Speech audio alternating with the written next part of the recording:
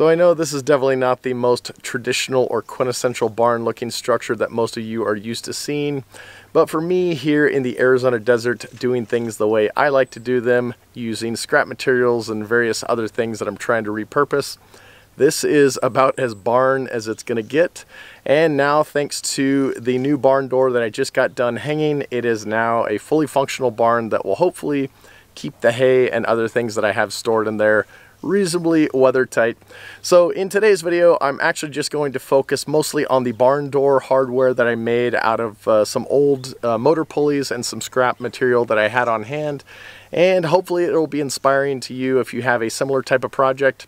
And then at the end, I'll talk to you about the lock that I put on there. Um, I added a little uh, pulley mechanism and then a little DIY guide on the inside of it to keep the door from swaying in and out.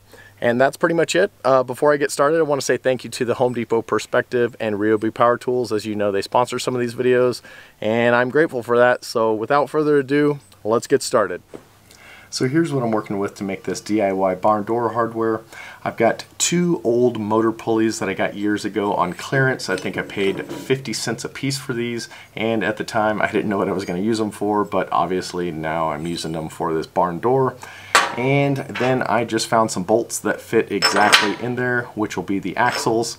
And then for the outer portion of the barn door hardware that's going to hold the pulley I have this old piece of 2 inch by 6 inch by quarter inch thick steel tubing.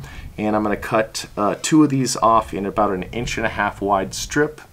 And basically this roller will be mounted in there and then it'll get bolted to the top of the door down here and it'll make a lot more sense once you see this uh, start taking shape.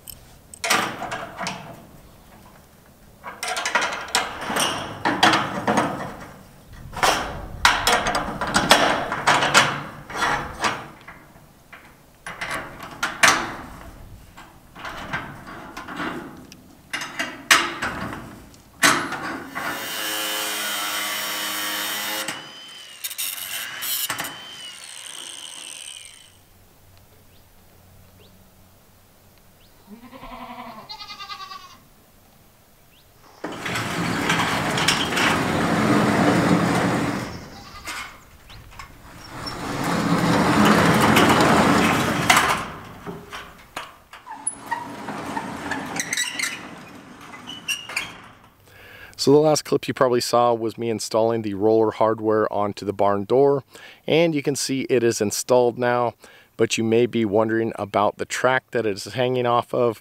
Well, that is a piece of scrap aluminum angle that I had on hand. It is 3 16 inch thick by 2 inches tall by an inch and a half wide and I have it spaced out from the barn by about two and a quarter inches to allow the roller hardware to pass by the corrugations of this sheet metal roofing that I'm using as the siding. And the lock hardware that I have used is just standard gate hardware. I used a little scrap piece of aluminum as a spacer to bring the locking portion or the little bar out to where it meets up with the edge of the door.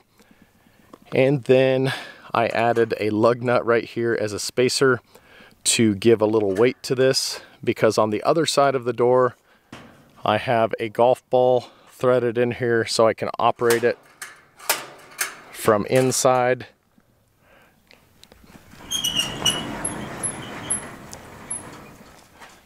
And you can see I already have some hay stored in here. I've got it blocked up off the ground so none of the hay is actually touching the ground.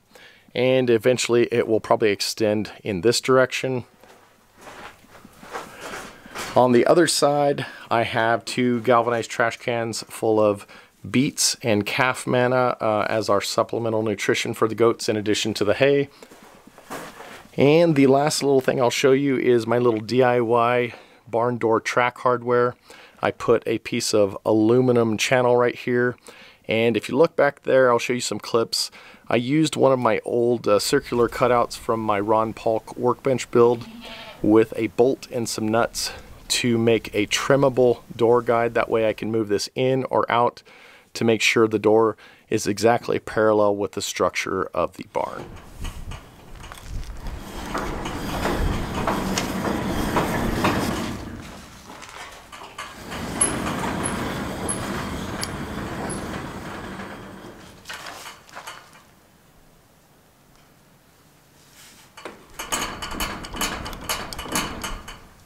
Well, I almost forgot to touch on one thing that some of you may be wondering about, and that is why the aluminum angle that I am using as the barn door track extends so far past the structure.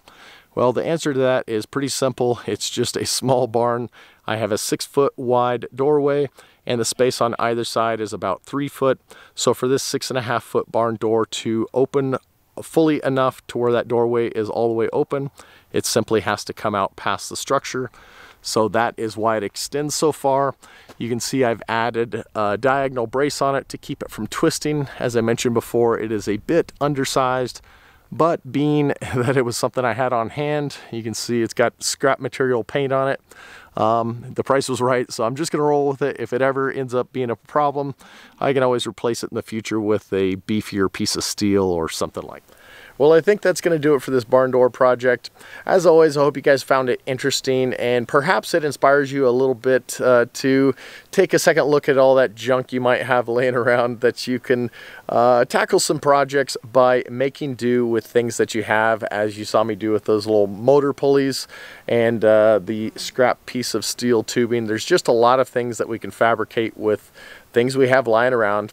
Obviously, some things are easier to just purchase brand new, but uh, in this case, I think it turned out pretty well. The barn door rolls nice and smooth, and uh, yeah, I mean, if you've watched my channel for any time, you know I like tinkering and making little uh, things like the little golf ball holder to open the door from the inside, and then the uh, the little uh, uh, barn door guide on the inside.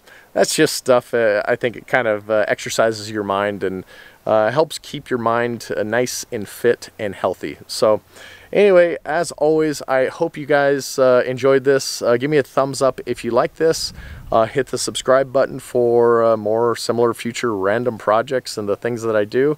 remember, you can see my videos on Rumble and Odysee. And I'm going to have to wrap it up right now because it is about milking time. And if I don't, you're going to hear Belle uh, screaming in the background because she always lets us know if we are not perfectly on the I don't know 6:30 timeline that she likes to be milked at. So I guess I'll see ya. Even the chickens know it's milking time.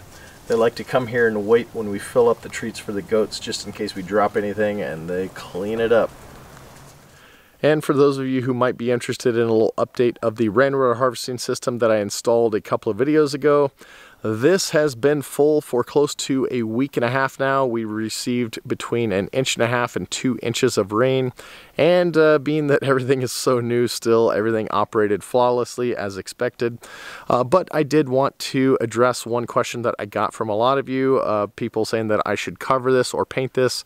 Um, I mentioned it in the description and I've uh, mentioned it in uh, quite a few of my videos that I always try to cover that because I am very aware what light does to water sitting in a semi-clear tank. Um, yes, I will cover it, but I wanted to get that whole system in place before we got those rains that we were expecting.